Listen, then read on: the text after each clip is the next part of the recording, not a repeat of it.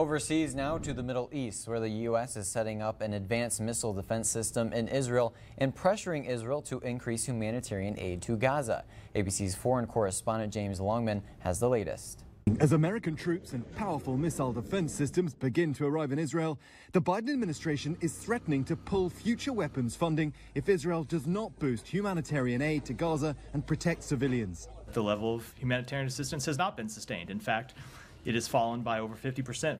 U.S. Secretary of State Antony Blinken and Secretary of Defense Lloyd Austin co signed a private letter to Israeli officials giving them a 30 day deadline to improve and maintain an increased supply of aid and end the isolation of northern Gaza.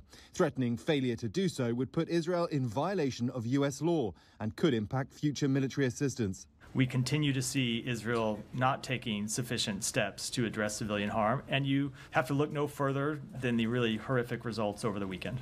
Those horrific results, this deadly strike on Al Aqsa Hospital, where medics say thousands were sheltering. Terror as massive fires swept through this tent camp. The IDF says their target was Hamas militants hiding among civilians, but they've provided no evidence of this. And in northern Gaza, aid agencies say civilians are being deliberately starved out, cut off from food for two weeks, as increasing military offensives and evacuation orders leave the hundreds of thousands living there with few options.